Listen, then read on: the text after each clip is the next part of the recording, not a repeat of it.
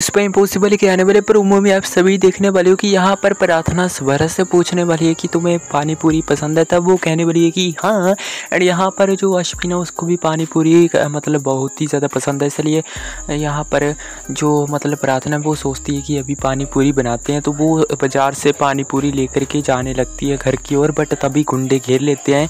And प्रार्थना से छेड़छाड़ करने लगते हैं, जिसकी वजह से प्रार्थना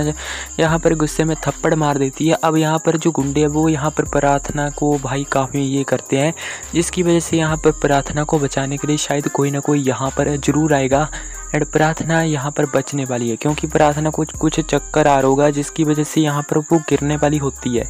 तो अब देखते हैं क्या कुछ ट्विस्ट आते हैं। बाकी आप सभी को क्या लगता है कमेंट में बताइएगा।